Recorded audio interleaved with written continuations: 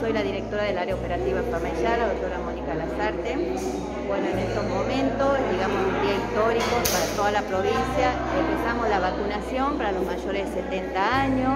Esto lo hace el Ministerio en conjunto con la ayuda de los municipios, a quien agradezco enormemente cómo eh, estamos trabajando en equipo. Bueno, esto los ayuda muchísimo, o sea, les, les facilita todo que sea en el municipio, sea por números que se les da a través del INC no, eso quiero aclarar, nosotros no damos los turnos, es a través del link.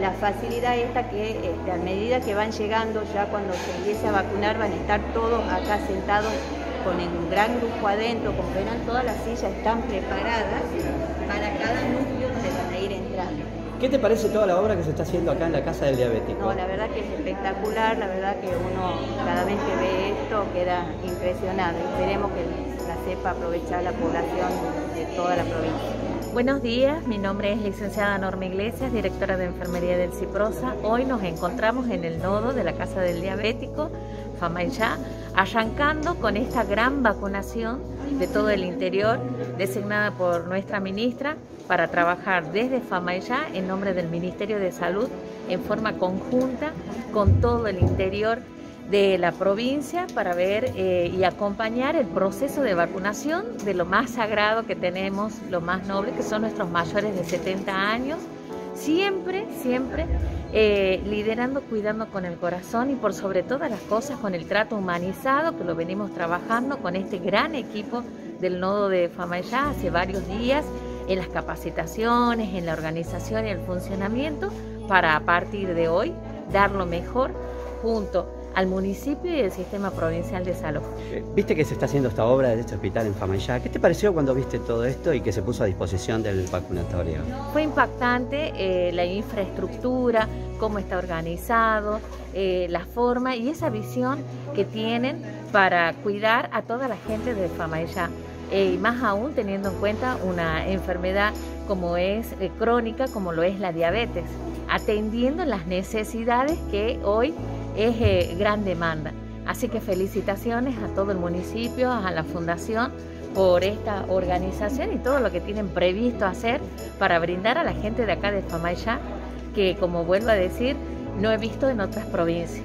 Haceme un comentario de lo que sentís vos cuando ves que la gente eh, como que apuesta y le tiene fe a esta vacuna. Y nosotros lo que sentimos y venimos trabajando desde el Ministerio de Salud y como parte de este gran equipo, sentimos mucha emoción y trabajar y planificar y organizar eh, cuando uno tiene que ver y ve plasmado en lo que manifiestan que es esperanza, porque esta vacunación es esperanza, esperanza de vida.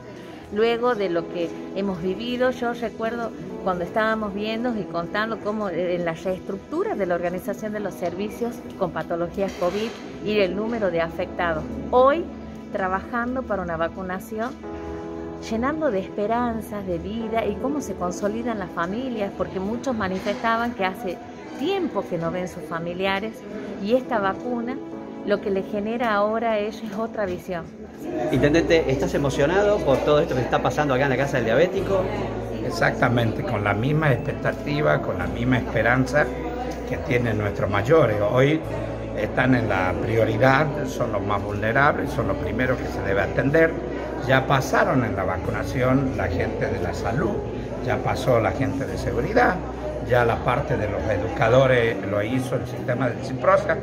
Y nosotros comenzamos acá con la gente del CIPROSA, con la gente del Ministerio del Interior, del gobierno de Juan Mansur, empezando en este vacunatorio que pusimos todo nuestro compromiso, toda nuestra estructura, toda nuestra capacidad de trabajo y nuestra experiencia junto a Norma, que viene del sistema de salud y a la misma vez de la Universidad de Tucumán, a coordinar, a, vincularnos, a relacionarnos y a estar haciendo todo lo que las formalidades requieren. Queremos que se respeten los turnos, que se lo atienda bien a nuestros mayores y que la cosa salga de la mejor manera. Desgraciadamente hubo que hacer unos movimientos por la lluvia, pero de una forma u otra ya está el lanzamiento es lo que vale. A partir de ahora el sistema comienza a andar y ya cada una de las personas que están presentes con su respectivo turno van a poder ser vacunados y a nosotros famayenses es una bocanada que nos motiva, nos hace sentir bien, saber que podemos ayudar, que podemos acompañar y que estamos al lado, en especial de nuestros mayores.